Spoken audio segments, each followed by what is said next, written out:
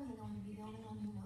Now, Blue Falcon soon has a bigger red F on the chest, and it's way less uh, scaly. Their feathers, and it's called an upgrade.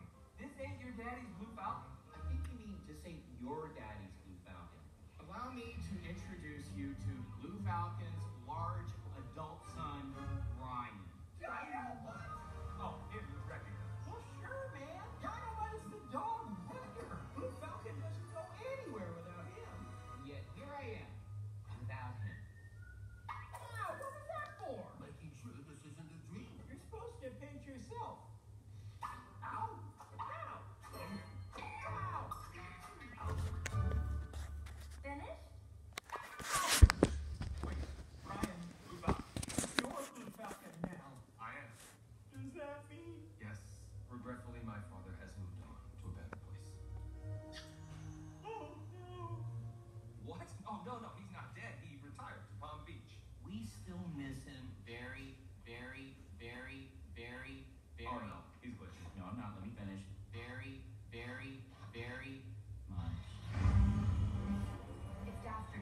You must have tracked you here from the bowling alley.